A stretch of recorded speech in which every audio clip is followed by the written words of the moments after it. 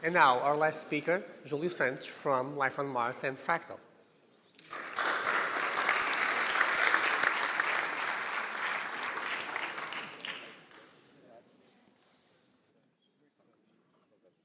Hello? Oh, great. Um, I have these slides.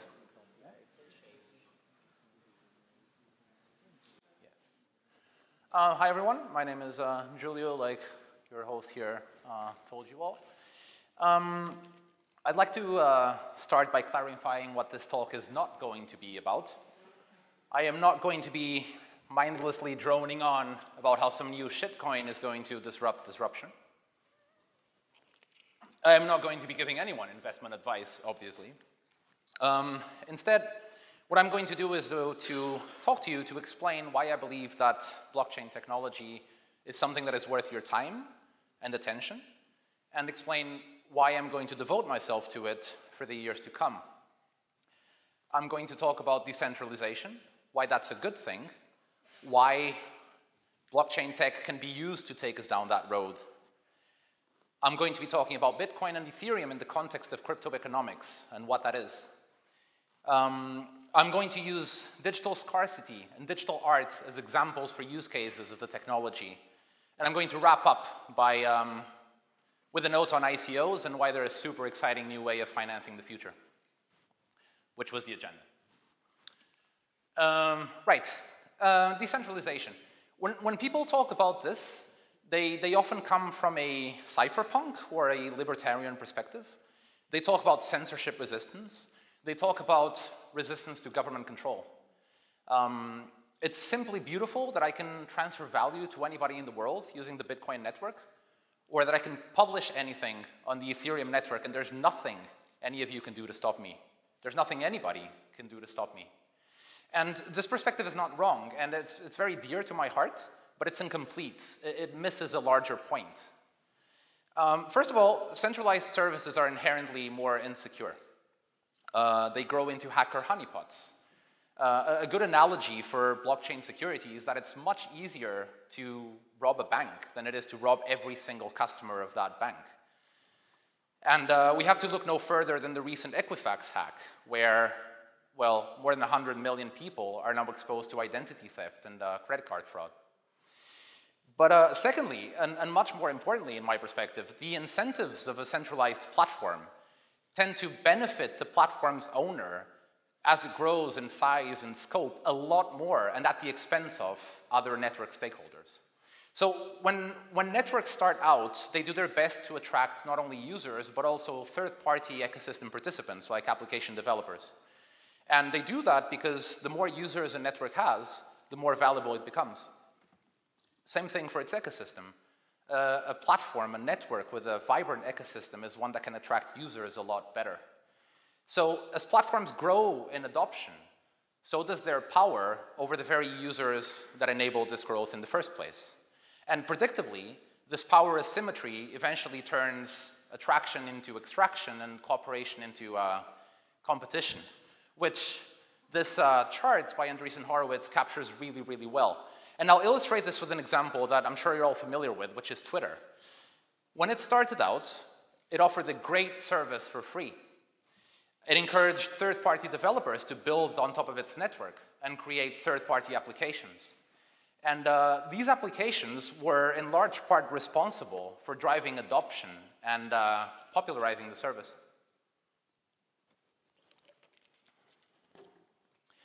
However, as uh, Twitter grew in users and power, um, things started to change. Twitter started to extract value from the users by placing a cost on the service through advertising.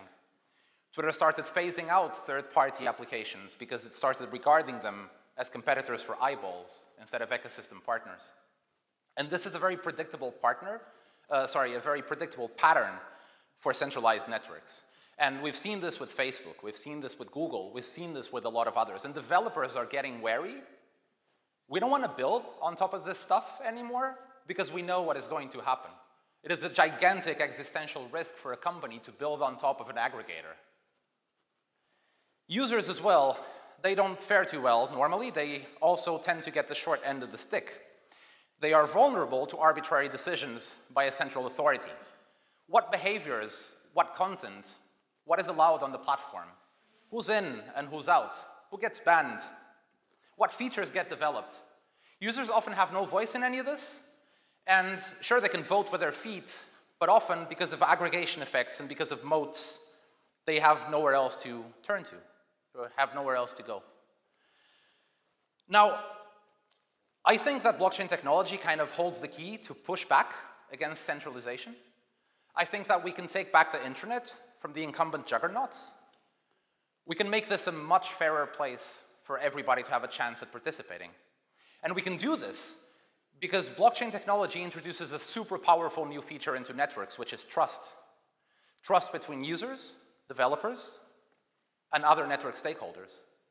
And this trust emerges, first of all, from the way that the blockchain is cryptographically secured. But much more interestingly, it emerges from the fact that we can use game theory and mechanism design to build token economies, crypto economies, on top of this trust layer so that the end result is we can trust the network without having to trust any of its individual participants. Now, I'm going to talk a little bit about Bitcoin as an example of what a crypto economy is. Um, so blockchain as a data structure is kind of really old. Actually, it's almost 30 years old. And about a decade ago, this entity called Satoshi decided to leverage that data structure to create a proof of concept for a decentralized currency. So this would be a currency whose issuance is controlled by none other by than a piece of software that is open source and peer-to-peer -peer, and whose rules are priorly known to all the participants. Now, I'll explain a little bit how this works. Uh, so, so in, a normal, in a normal bank, say that Alice and Bob have an account at the same bank, their, their number is, their, their balance, their money is a number on a database. I mean, because of fractional reserve banking, the bank doesn't really keep the money at hand. So if Alice wants to send 100 euro to Bob, the bank effectively goes into the database, subtracts 100 from Alice's number, adds 100 to Bob's. And this tends to work. Alice and Bob trust the bank to do this properly. They usually do they also have no choice. But Bitcoin sees things differently. I'm going to oversimplify this a little bit. What I'm saying is not exactly technically, technically true, but I think it carries across the point. Happy to explain this in more detail if you guys want it later. Um, the way Bitcoin sees this is instead of having a centralized database where these balances are kept, instead of that, let's distribute the database to thousands and thousands of nodes. And the actual balances will be represented by a canonical instance of that database, which is the result of the consensus in between all of these different databases. That way there's no single point of failure. Again, it's a lot harder to hack 10,000 computers than a super secure single one. There's no central point of failure for this. And this, the idea is, so the cool thing about Bitcoin is not, oh, we've got decentralized money. The cool thing about Bitcoin is not even using a blockchain. The cool thing about Bitcoin is the insight that if they combine this kind of append-only cryptographic data structure, which is never append-only because you can change the bits and the bytes in your own machine, but you can't if there's a thousand of these. So Bitcoin's insight of how to get thousands of participants to work for the network out of their own self-interest and thereby having a network emerge that is secure and that can maintain balances in a way that everybody can trust, that's what's interesting about it. That's why this is cool. Because Bitcoin invented a way to make sure that you would run a Bitcoin node. And people are. Like, the way that this works is that, again, oversimplifying, but if you run a Bitcoin node, you're essentially participating in a lottery in which you can be attributed newly minted Bitcoin to yourself. And driven by the self-interest, folks do run nodes. A lot of folks. And this incentive worked. We've got tens of thousands of Bitcoin nodes today, and every single new node incrementally adds to the security of the network because it becomes that much more difficult to orchestrate a coordinated attack against a sufficient number of nodes to take it down. Now I'm using this as an example because, well, first of all, everybody knows it. Uh, and second of all, it's a super simple example of crypto economics, or in other words, how do you get people to do stuff using blockchain technology? Um, I don't really buy into it too much. Uh, I don't think it's uh, that much of a great thing. Currencies tend to be really complicated. Like the euro and the dollar have a lot of highly paid, very smart people kind of trying to figure out how to manage that based on economic conditions, and I'm not really sure this is going to solve that. Um, but somehow it worked. Somehow it's above 100 billion in total value today, which is a good amount of billion. And uh, a lot of people seem to believe in it. I think there's much more interesting things that we can do with blockchain tech. And uh, I'd like to talk a little bit about Ethereum, because a couple years after Bitcoin came out, there was this guy, Vitalik, and Vitalik was part of the Bitcoin team. And uh, he kind of has been, been has been trying to convince everybody that Bitcoin needed to be upgraded to support more use cases. Because it didn't do much. People didn't listen to him, so he decided to launch his own network. It's called Ethereum. And unlike Bitcoin, which is essentially a machine for value transfer, can't do much more than that, Ethereum was to be a world computer. So it's a public utility network. It's a platform for arbitrary computation and storage, on top of which decentralized applications could be built. And the core building block of these applications is what we now call smart contracts. Now, because Ethereum is a, well, this world computer thing with arbitrary computation and storage, participating in this network was going to get expensive.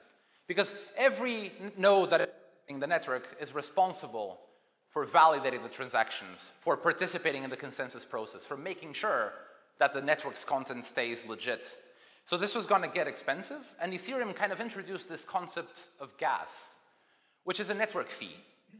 The way that it works is that every time you want the network to work for you, you want to make a value transfer, you want to execute a method on a smart contract, you want to store information, you will pay a fee that is proportional to the volume of your computation and your storage. This fee is paid in Ether, which is a native crypto token of the Ethereum network.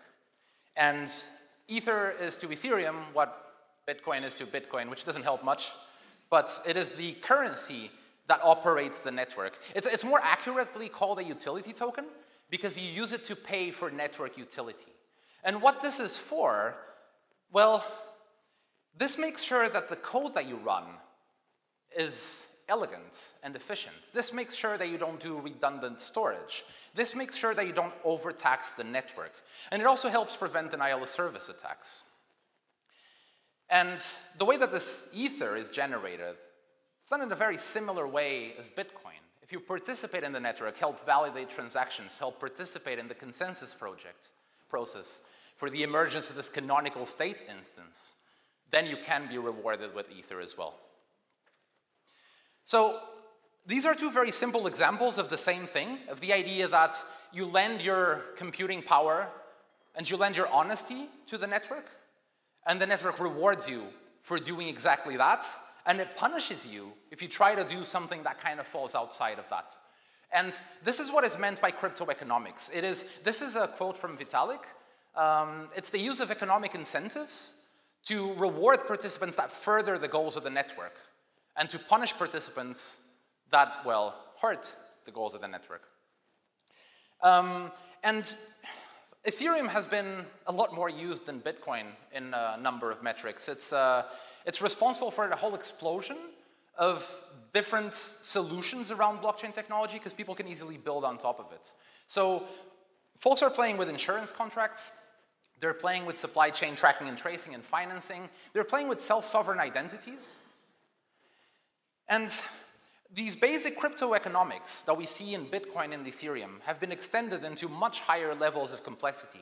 So people are building things like prediction markets, which help us see the future while maintaining the right incentives so that each participant contributes information that is honest as to their best knowledge.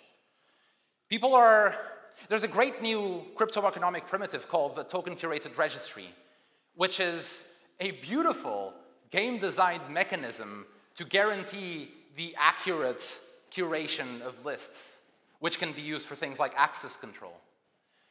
People are playing with this for all sorts of stuff, and I think it's really, really exciting. And I'm going to give you an example um, in, in the context of art that I think is really easy to understand. Um, so the reason that, or one of the reasons that cryptocurrencies work, one of the reasons that these token economies work is that there is scarcity in them.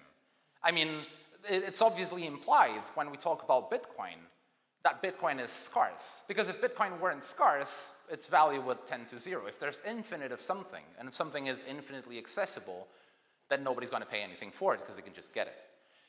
But I just wanted to make that explicit. And, and somewhere else where we see um, the concept of scarcity being very valuable is in art, traditionally. I mean, why, why would I buy an original Picasso? It doesn't look better than a reproduction, might even look worse. Doesn't necessarily look better than a poster unless it's up close. I, buy an original Picasso because then I can say, I have an original Picasso. And nobody else does, because there's only one of these, and it's mine. And bragging rights have long been a reliable economic driver. So this scarcity has so far only been available as an economic mechanism for offline analog art, because physical items aren't really easily copyable. But in the digital world, where information wants to be free, and it should be free, this never really made much sense. Like, we've been trying to fight piracy for years. It's a, it's a lost battle. It's, it's a wrong battle. Because we shouldn't be putting up any barriers to consumption. We should reward creation. We should reward curation. But that's about it. We need to find different ways to guarantee that everybody has access to everything while at the same time compensating the ones that create the content that they consume. And the way that this is done today is through platforms like Patreon, for example. As a digital artist, I might have an Instagram following, and I'll tell them, hey guys, this is my new collection. Please go into Patreon. Please, you know, sponsor me. I'm gonna, so I can keep doing great work. And, and this is awesome. Like, I'm, I use Patreon every month. I'm a monthly contributor.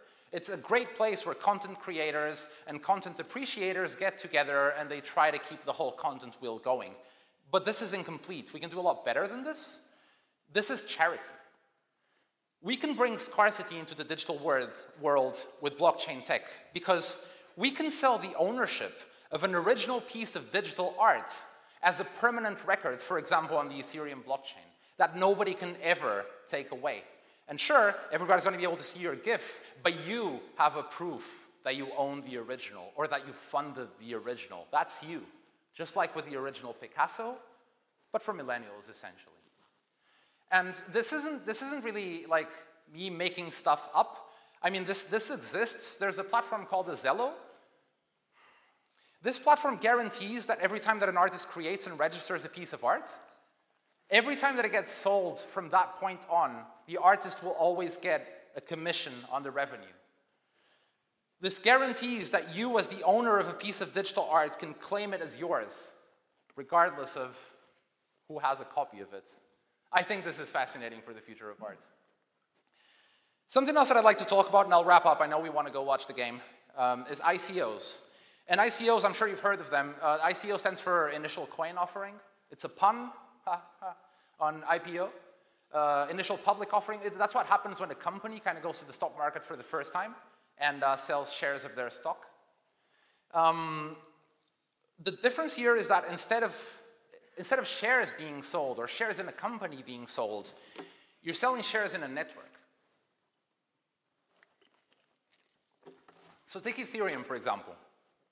In order to finance the building of the network, Ethereum launched the first popular ICO, where they raised a few million in Bitcoin.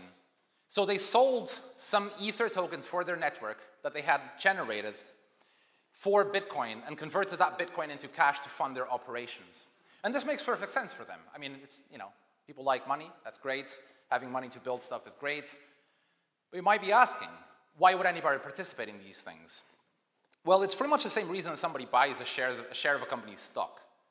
Um, so a share is a metaphorical slice of a metaphorical pie, and as a company's value appreciates, then the pie grows, and presumably your size will as well. And the similar train of thought is present here in ICOs, but the mechanics by which people expect appreciation of value to occur are slightly different. So, for example, in Ethereum, the, the expectation is that as more people, as the network becomes more useful, provides more services, serves more use cases, more people want to come into the network. You'll recall from before that usage of the network needs to be paid for in Ether. So people wanting to come into the network need to buy Ether to interact with it. Because Ether is scarce, the law of supply and demand applies. And more people wanting to buy will create an upward pressure on the price of the token. When these people join the network, they will provide services, they will consume services, they will participate, increasing the value of the network, and the whole cycle starts again. And this is the principle behind the basic understanding of what, how a token economy should look like. Now, unfortunately, um, the ICO space has been rife with scams and bullshit, and it's really not a great place to be sometimes. It's a little bit like with every technology that shows up, except there's a lot more money here. So there's obviously a lot more scamming going on. Um, and even when, even when folks um, think they're being honest about things, and even when there's no malicious intent, people often, you know, this is done on the internet. They say it's an unregulated space. Who cares? Let's just see what happens. This is extremely irresponsible. Every time that you're selling something, you have to abide by consumer protection laws. If you're selling something that is remotely resembling of a financial instrument, you've got to abide by capital markets laws. People ignore this completely. And now, time for a little shameless plug. This is exactly the space that I'm in. So my company, Fractal Blockchain, is in regulatory compliance. We help companies conduct their ICOs in a globally compliant manner. That's what we've been doing for a few months now. And, um, well, Talk to me if you're looking to do one. Talk to me if you're a great developer that's looking to get into crypto. This is uh, my email. I really hope that I managed to convey a decent idea of why I think that this is relevant. And I really encourage you all to see past the hype and try and understand why this is going to be interesting. Because when smartphones came out, folks were all like, but those screens are tiny. And that processing power is ridiculous. It's a trade-off. It's a trade-off between portability and in, well, in the initial cases, localization. And, well, what you had before in terms of processing power and screen size. And because that's something that works, folks get together to finance it, to evolve it, and to turn the trade-off into something that is worth it. And I believe that's what, that's what we're undergoing now. Thank you.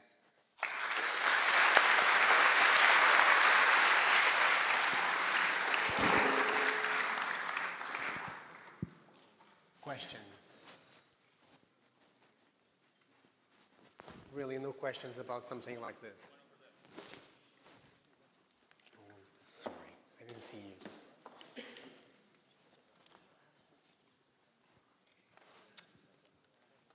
So um, I fully agree with uh, what you said about the potentials of blockchain technology. But one thing that kind of worries me is the cost of everything when you scale it up. Uh, we've seen like a billion new networks coming out that use uh, mainly proof of work to validate transactions. And I think uh, most of us have heard the news about how many energy the Bitcoin network is consuming. And yes, sure, we, ha we have uh, some networks that are moving to proof of stake, but that has its own set of issues. Uh, personally, I'm interested in stuff like the Tangle and Stellar network that use uh, DAGs and that kind of stuff, but I'm Those aren't decentralized. I know, but uh, that's, I'm kind of wanting to know what you think about that whole aspect of course. Of so first of all, the technology is in its early stages, as you said very well. Uh, so the, the, the question, I'm not sure it was clear, but it's something along the lines of, what do you think of the tremendous consumption of resources and the focus on proof of work as a consensus method for blockchain? Something along those lines, yeah. And um, first of all, the technology in its early stages. Proof of work was the consensus method that Bitcoin chose uh, for their network. It's a pretty dumb one. I mean, I mean, it's super elegant from an engineering perspective, but it's something that doesn't really work out when you have such competition for all the resources of the network. Trying to be a miner now is really, really difficult, and there's a lot of energy being spent there. And because of that, well, first of all, there's been alternative methods developed like proof of stake, in which instead of, uh, going to be hand wavy here, but instead of competing for your Bitcoin prize with, uh, say, processing power, you compete for it with existing wealth. And the idea that your chances of winning this lottery are proportional to your existing wealth in the network makes sense from a game theoretical point of view because you would not want to screw with a network where most of your wealth lies. So Proof of stake is just one example. There's plenty of others uh, around, and I'm really excited about the evolution of that space. I don't think, I don't really see that as a concern for two reasons. First of all, because I believe that the technology will evolve to serve us, and there's plenty of early signs of that happening, and there's plenty of blockchains in production that use different consensus methods. And second of all, because even if there was no alternative, if we're doing this, is because there's utility for mankind. And there's plenty of ways to generate energy. We just happen to hate nuclear for some stupid reason, for example. But um, if that's something that would make sense, it's a price to pay. Fortunately, it doesn't have to be. Did I answer your question? Yes, thank you. We have time for one more question. And then sports ball. Yes. Okay, they are really World Cup fans. they just want to make sure that they are free in a couple of minutes. Okay, in that case, thank you. Julie. Thank you.